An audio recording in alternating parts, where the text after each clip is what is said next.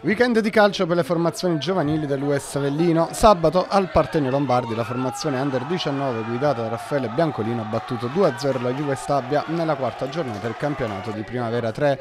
La Juve Stabia è arrivata al Partenio conscia dei 7 punti finora conquistati, frutto di due vittorie ed un pareggio. L'Avellino è iniziata al meglio questa stagione con 6 punti ottenuti nelle prime due giornate e con la terza giornata di riposo visto il numero dispari di squadre partecipanti. Una partita combattuta a viso aperto con il primo tempo che ha visto le Vespe Stabbiesi creare molti pericoli alla formazione bianco-verde, colpendo anche un palo. Nel secondo tempo, complice anche i cambi di mister Biancolino, che nell'intervallo ha inserito Fusco, Esposito e Serra, la formazione bianco-verde è cresciuta, trovando la rete al vantaggio con Campanile al minuto 70. Dopo pochi minuti, Bomber Fusco raccoglie un pallone ai limiti dell'area di rigore e, approfittando di un'incertezza del portiere avversario, calcia in rete, firmando il raddoppio e la rete che chiude la gara sul 2-0. Domenica è stato il turno delle formazioni under 17, under 15 e under 16.